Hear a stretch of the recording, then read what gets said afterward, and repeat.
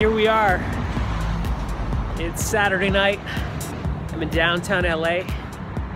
Uh, all right, so it's no secret I'm pretty far away from where I was 10 years ago in terms of stand-up, so I'm really trying to push the stand-up super hard. If I'm not in town shooting videos and stuff, I want to be on the road or at a mic.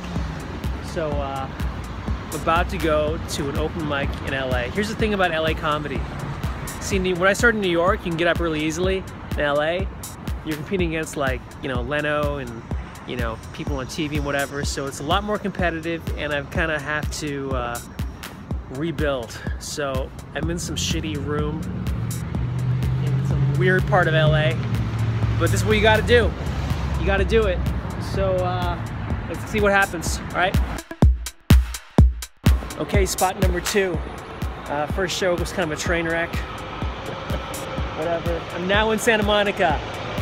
Yay, it's safe. Or maybe it's dangerous. I'm about to perform at a youth hostel, which is like one of the tougher audiences because of like international, but it's actually good because it challenges me. So uh, I think I'm gonna do this one show and then call it a night. It's like 12 o'clock. All right, see ya.